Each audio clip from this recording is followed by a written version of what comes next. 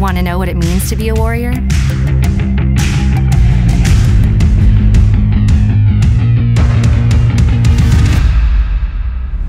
Yeah, pretty much everything.